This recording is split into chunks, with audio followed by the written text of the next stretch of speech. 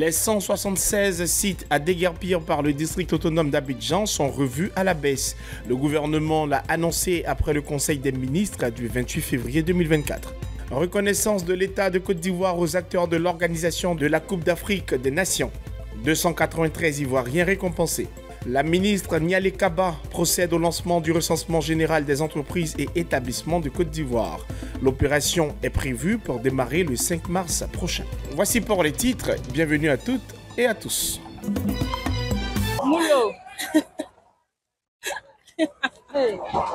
Du rebondissement dans l'affaire des déguerpissements à Abidjan.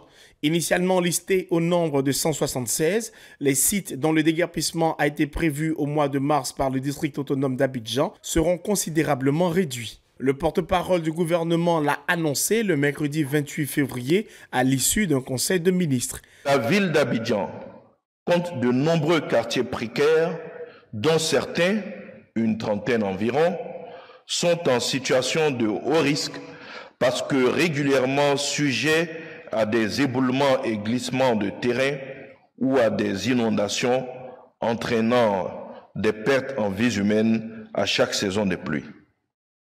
Ces quartiers nécessitent donc un assainissement. Le même mercredi, le gouverneur du district d'Abidjan, Ibrahima Sissé Bakongo, ouvre ses portes aux différents maires de la capitale économique ivoirienne. Après échange, ils se sont accordés sur la nécessité d'entamer des concertations avec les différents acteurs.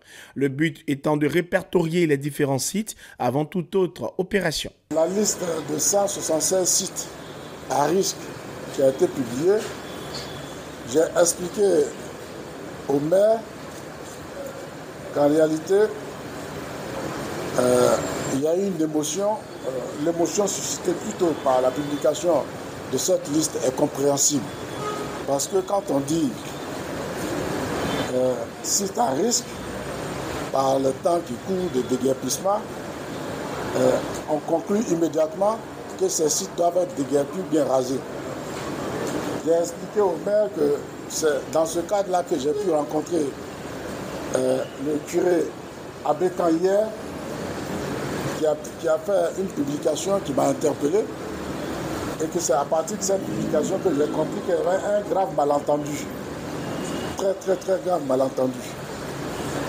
Les sites à risque ne sont pas des sites à déguerpir, ne sont pas des sites à démolir. Ben, je vais dire que euh, c'est une rencontre euh, très fructueuse et cette rencontre nous a permis de savoir aujourd'hui euh, quels sont les projets qui sont sur le Grand Abidjan de la part du ministre-gouverneur. Je pense que chacun de nous a pu comprendre la nécessité. Et ce que je peux rassurer vous dire que nous, j'ai pu parler aussi des sites de Benjamin et avec tout ça, on a compris que ce pas des sites à démolir, mais des à risque. Donc nous devons prendre des précautions à base pour permettre à ce que nos populations puissent vivre dans un cadre très décent. Il faut avoir des concertations avec les maires avant d'engager des procédures de démolition. Pour que ça puisse nous permettre d'être en phase avec nos populations et les expliquer le bien fondé de l'action du ministre-gouverneur. Initiée le 20 février à Yopougon avec le quartier GESCO, l'opération de dégarpissement a suscité une série de passes d'armes entre différentes autorités et la suspension des cours le 28 février 2024. L'État de Côte d'Ivoire traduit sa reconnaissance à 293 Ivoiriens. Pour cause, ces derniers ont contribué à la réussite de l'organisation de la 34e édition de la Coupe d'Afrique des Nations. Ils ont été décorés dans l'ordre du mérite national, l'ordre du mérite ivoirien et dans l'ordre du mérite sportif.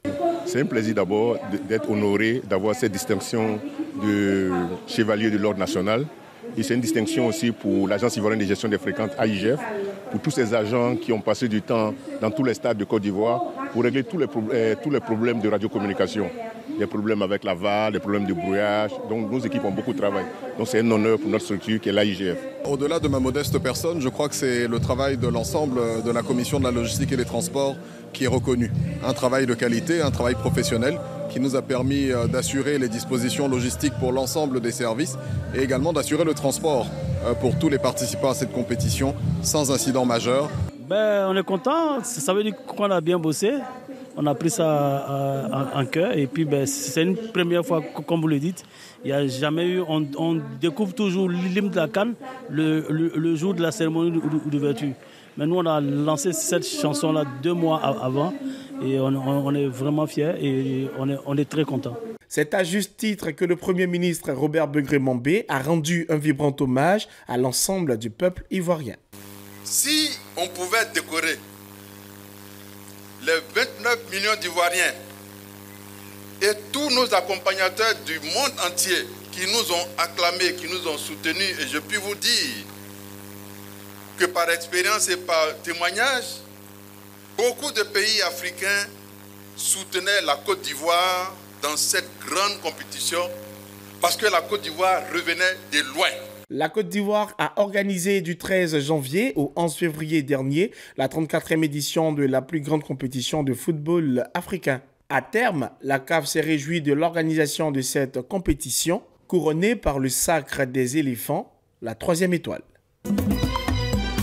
C'est la plus grande organisation mondiale du secteur de transport, la Fédération internationale des ouvriers des transports, ITF. Du 5 au 7 mars prochain, cette organisation syndicale organisera sa conférence régionale africaine à Abidjan. L'objectif est de trouver des stratégies pour lutter contre la complaisance et les méfaits des adhérents qui font partie du domaine maritime, mais aussi fluvial, aérien et terrestre. Des marins qui viennent à Abidjan, indonésiens, philippins, qui ne connaissent personne. S'ils ont des problèmes ici, par exemple, ils viennent là, ils ont des problèmes de salaire, ils ont des problèmes de rapatriement. Parfois, certains armateurs véreux les laissent ici. Nous avons dans plusieurs ports, plus de 122 ports, des inspecteurs maritimes, des coordinateurs maritimes et des visiteurs maritimes. Et c'est ces gens-là, grâce à leur présence dans les ports, grâce à leur affiliation à des syndicats membres de l'ITEF, c'est ces gens-là qui interviennent. L'événement, le dixième du genre, attend la participation de 250 personnes qui viendront de 40 pays. Un appel particulier est lancé aux autorités de tutelle, notamment le ministre du Travail et celui des Transports, pour une présence et participation effective à cette activité. C'est une conférence qui va mettre en avant la Côte d'Ivoire. Donc euh, cet événement sera un événement euh, qui doit être euh, porté à un certain niveau vis-à-vis des autorités nationales. C'est aussi nous, à notre tour, en tant que syndicalistes, notre façon à nous de participer à l'émergence de la Côte d'Ivoire. Et nous pensons que leur présence va, va relever le niveau de, de, cet événement et cela va toujours dans l'intérêt des Ivoiriens. En Côte d'Ivoire, l'ITF compte 20 membres avec un comité de coordination nationale, un comité des femmes, un comité des jeunes, avec des projets tels que le BRT, le métro d'Abidjan, le projet d'Ethiopian Airlines, la syndicalisation des pêcheurs de l'Afrique de l'Ouest et le BTB Port d'Abidjan. L'opération de recensement général des entreprises et établissements de Côte d'Ivoire débutera le 5 mars 2024 à San Pedro.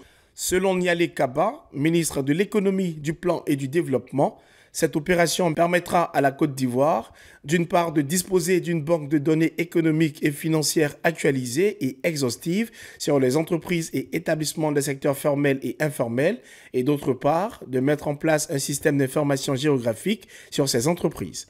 C'est une opération qui va nous permettre de connaître tout le tissu des opérateurs économiques exerçant sur le territoire national. Les opérateurs du secteur formel que nous connaissons déjà plus ou moins puisque nous avons à travers donc les liasses fiscales, nous, nous les connaissons, mais également les opérateurs du secteur informel. Ce recensement sera couplé à l'enrôlement des unités du secteur informel en vue de leur offrir des opportunités réelles d'inclusion financière. C'est la fin de ce 7 minutes. Merci de l'avoir suivi. L'information revient sur cette info et sur cette info.ci.